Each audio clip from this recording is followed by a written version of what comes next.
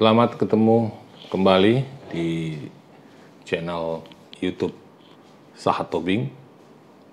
Seperti biasa, saya akan menghadirkan sebuah video yang berisikan tentang eh, materi bahan khotbah yang mudah-mudahan akan dapat menolong Bapak Ibu Saudara-saudara sekalian di dalam mempersiapkan khotbah yang akan digunakan pada tanggal eh, 20 Juni tahun 2021. Eh, Terima kasih kepada para pendeta guru Injil yang sudah mendukung channel YouTube ini. Begitu juga para majelis lay speaker dan calon lay speaker, sintua, pertua, diaken yang menonton channel YouTube ini.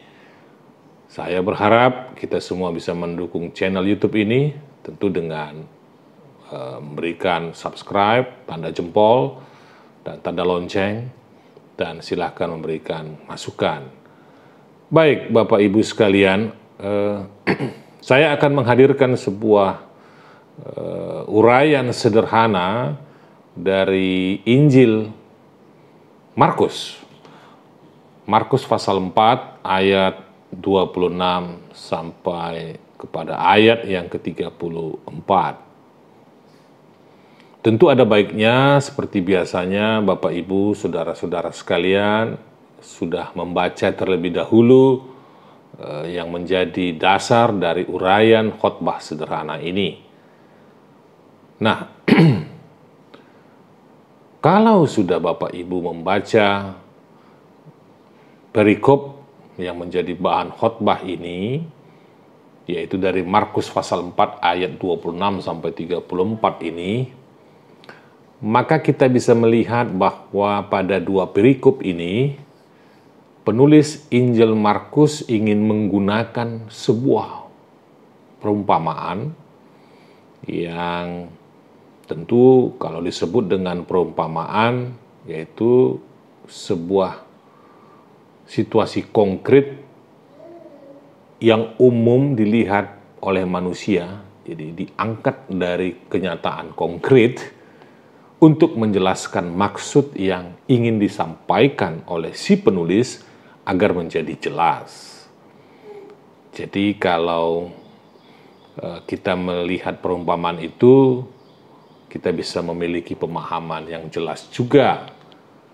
Nah, kali ini temanya memang yang diangkat oleh penulis Injil Markus ialah tentang kerajaan Allah. Dan di situ diangkat sebuah perumpamaan tentang seseorang yang menabur benih, lalu bertumbuh dan mengeluarkan buah. Begitu juga nanti pada perikop yang berikutnya, kita bisa melihat tentang perumpamaan biji sesawi. Nah, kita bisa menangkap kesan dari Markus pasal 4 ayatnya yang ke-26 sampai kepada 29 itu kita melihat bahwa si penabur si penabur benih itu eh, tidak mengetahui bagaimana proses pertumbuhan dan perkembangan benih itu. Ya, karena diceritakan di situ setelah dia menabur benih, dia beristirahat dan esok harinya dia melihat sudah ada tunas yang mungkin eh, hasil dari pertumbuhan benih itu walaupun tentu bukan satu hari dua hari lalu seperti berubah begitu cepat? Tidak. Pasti butuh waktu lama. Nah eh, barulah kemudian pada perikop kedua yaitu ayat 31 sampai kepada ayatnya yang ke-34, benih itu disebutkan secara konkret, ya, yaitu dengan benih, benih biji sesawi, yaitu sejenis apa namanya eh, bisa semak atau mungkin juga bisa menjadi pohon yang berfungsi untuk menyejukkan tanah yang gersang dan tempat burung-burung berteduh kalau dia sudah eh, bertumbuh lebih besar. Nah, kedua perumpamaan yang digunakan oleh penulis Injil Markus ini itu kan bermaksud untuk memperjelas makna kerajaan Allah. Karena pada bagian sebelumnya masih sulit bagi para murid maupun para pendengar khotbah-khotbah Yesus untuk mengerti apa yang dimaksud dengan kerajaan Allah.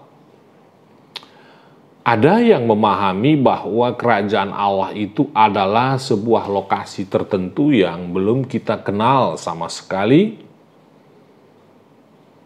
Tetapi lewat perumpamaan ini, penulis Injil Markus ingin menyampaikan bahwa sebuah keadaan konkret di dunia inilah sebagai kerajaan Allah. Hanya saja dari pengalaman konkret di tengah-tengah dunia ini, lewat perumpamaan benih tadi, ada faktor misterius, musterion, yang selama ini mungkin tidak begitu diperhatikan atau tidak begitu disadari oleh manusia, seolah-olah itu sudah lazim terjadi tetapi sebetulnya dari proses pertumbuhan, perkembangan dan berbuah itu kan ada eh, tahap-tahap eh, perkembangan dan akhirnya menghasilkan buah dari tanaman itu yang seolah-olah oh sudah ditanam pokoknya akhirnya akan bertumbuh. Nah, proses itu seolah-olah dianggap lazim tanpa eh, disadari. Uh, Misalnya ya, proses pertumbuhan benih dan biji sesawi yang setelah ditabur itu bertumbuh menjadi besar dan menghasilkan buah. Tentu kalau dicatatkan di dalam ayat 27 sampai 28 karena bumi tempat di mana benih itu ditaburkan menjadi bagian yang tidak terpisahkan dari proses pertumbuhan dan perkembangan tumbuhan itu untuk menghasilkan buah dari benih tersebut. Saudara-saudara sekalian, eh, Nas Markus pasal 4 ayat 27 sampai 29 sepertinya kalau kita melihat kan tidak begitu mengedepankan siapa penabur. Siapa penabur benih? Tetapi sepertinya penulis Injil Markus ingin lebih fokus pada benih yang mengalami proses pertumbuhan menjalani proses pertumbuhan. Dan pada akhirnya ada masa panen, ada masa menuai, dan ini yang sepertinya dikedepankan. Nah, di dalam pemahaman tentang kerajaan Allah, tentu Allah yang berkuasa dan manusia menjadi orang yang menebarkan benih, yaitu firman Allah, hikmat Allah, pengetahuan, logos. Nah, dengan demikian Allah yang diberitakan dan bukan kehebatan manusia atau kehebatan si penabur benih itu. Itu yang saya lihat. Bapak Ibu boleh berbeda. Nah, di dalam proses pertumbuhan dan menghasilkan buah itu, Injil Markus mencatatkan bahwa bumi yang adalah ciptaan Allah itu telah menyediakan apa yang penting bagi pertumbuhan benih itu. Kerajaan Allah bermakna bahwa hanya Allah yang berkuasa dan bukan manusia. Karena si penabur akan tertidur dan bangun siang. Dan kemudian menyaksikan bahwa benih yang ditaburnya itu telah bertunas dan semakin tinggi tanpa sepengetahuannya. Karena dia tertidur. Tentu dia tidak tahu perkembangan. Nah, hal ini mengindikasikan Bapak Ibu, saudara-saudara sekalian, bahwa Allah menyingkapkan kemahakuasaannya sebagai pengelola alam di dalam kemisteriusan itu. Ya. Nah, perikop selanjutnya tentang perumpamaan biji sesawi yang dicatatkan di dalam Injil Markus, benih yang kecil yang kemudian bertumbuh menjadi besar dan bermanfaat bagi segala makhluk. Meskipun awalnya biji sesawi itu berbentuk kecil, tetapi akan bertumbuh besar di antara sayuran. Itu dicatatkan di dalam kitab Injil Markus ini. Meskipun ya saya mau ingatkan Bapak Ibu Saudara kalau disebut dengan biji sesawi jangan pikiran kita lalu mengatakan oh biji sesawi itu adalah eh, biji sawi lalu sayur sawi lalu itu uh, menjadi sayuran yang seperti kita bayangkan ya. Biji sesawi bukan biji sawi yang yang kita gunakan nanti menjadi sayuran lalu menjadi campuran Indomie atau sayuran makanan siang. Bukan, jangan salah. Biji sesawi bukan berarti sayur sawi. Karena apa? Karena biji sesawi itu kalau sudah bertumbuh dan besar, ya bahkan dikatakan di dalam Injil Markus tempat berteduh burung-burung. Ya. Menjadi pohon yang besar. Tempat berlindung burung-burung untuk berteduh dari panas dan dari gersangnya padang pasir. Nah, jadi itu situasi yang konkret yang diangkat menjadi sebuah perumpamaan untuk memperjelas kerajaan Allah dari benih yang kecil dan menurut saya benih yang sederhana itu penulis Injil Markus ingin mengedepankan pertumbuhan dari benih yang kecil. Bertumbuh menjadi besar dan dapat bermanfaat sebagai tempat bagi setiap makhluk untuk bersandar, berteduh dari panasnya dunia dan keletihan manusia itu sendiri.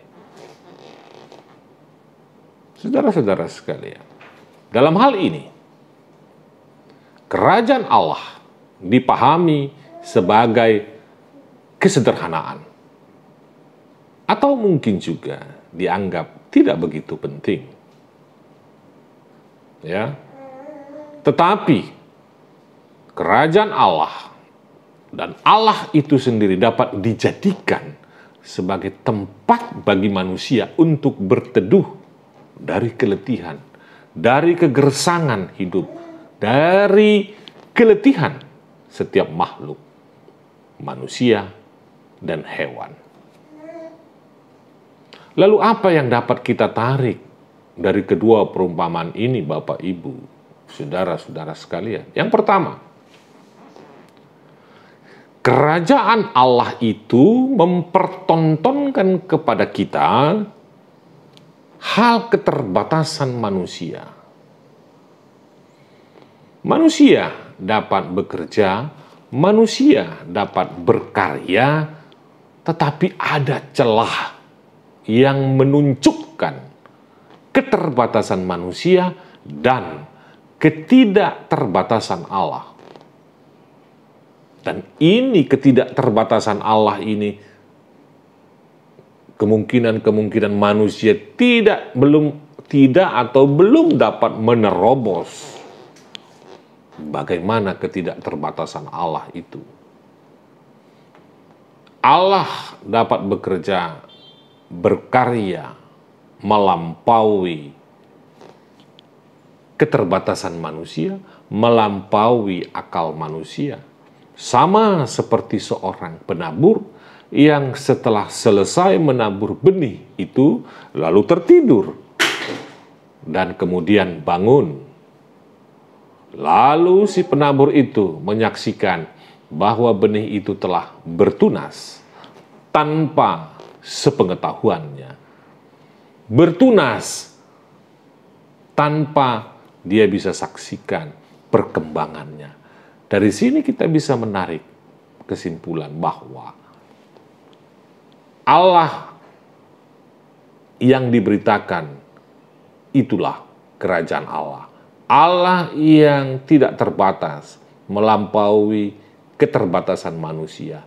Itulah kerajaan Allah. Ya. Itulah kemisteriusan itu dan kita mau mendekati kemisteriusan itu. Yang kedua, dan ini yang terakhir.